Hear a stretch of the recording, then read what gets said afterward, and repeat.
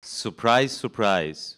There are a few people in Washington, D.C. who were not afraid to talk about Julian Assange all these years. Uh, and our next member of tribunal is one of them. Uh, so it's my big pleasure to present the one and only Chip Gibbons, uh, Policy Director of the organization Defending Rights and Dissent.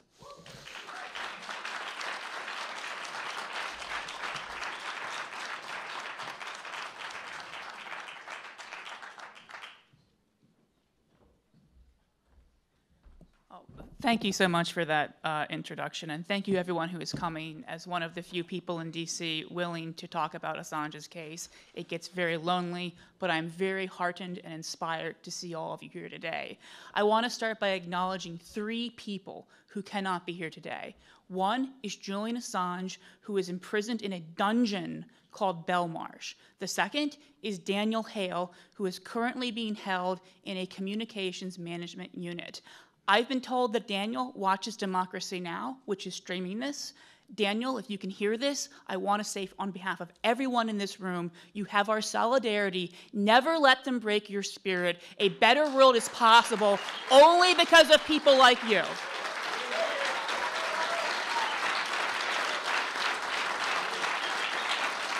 And as an aside, I'd like to note the CMU, much like Belmarsh, is associated with the war on terror. When governments kill civilians, not only is it not terrorism, but when you expose murder by government, they treat you as the terrorist. And the third person who can't be here is, of course, Edward Snowden, who exposed that our government was lying to us about how they were spying on us, and for this patriotic act was driven into exile while the lying spies continue to enjoy lucrative careers with war profiteers and cable news programs. And you have to ask yourself, do they view those as two different jobs? Because after all, someone has to sell the wars that line their pockets.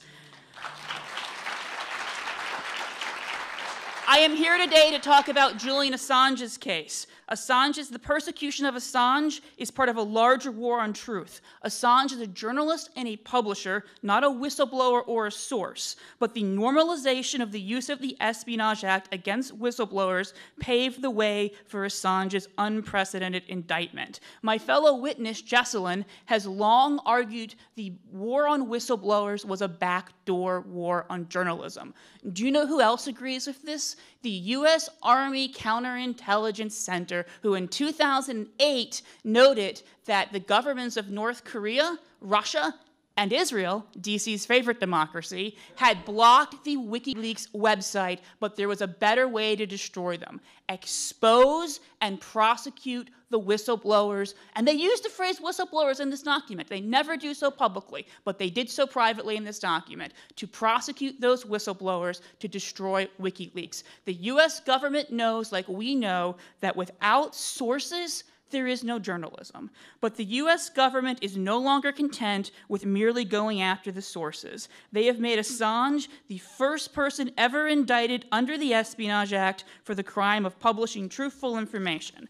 Make no mistake, the attempts to silence Assange is part of a larger war to silence those who expose the crimes of empire, militarism, and the US national security state. And it's not just a legal war involving a prosecution, but an extra legal war involving covert action and propaganda. While the US security state is cloaked in secrecy, there have been a steady trickle of revelations about the three letter agencies' war on WikiLeaks.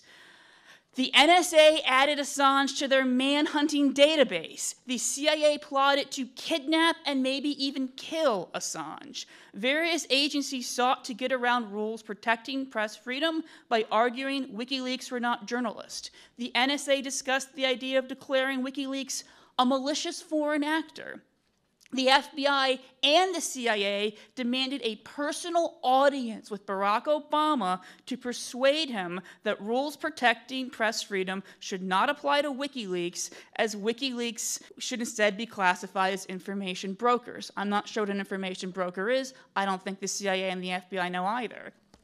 And finally, they invented the term hostile non state intelligence agency to allow the CIA to engage in offensive counterintelligence against WikiLeaks, something previously reserved only for rival spy agencies and requires even less oversight, and there's very little oversight over the CIA, over CIA covert action. The US government's legal and extra legal war on WikiLeaks is a war on journalism itself. By bringing an indictment under the Espionage Act, the US government has endangered the First Amendment's guarantee of press freedom. By applying the Espionage Act extraterritorially to a foreign national, they jeopardize press freedom globally.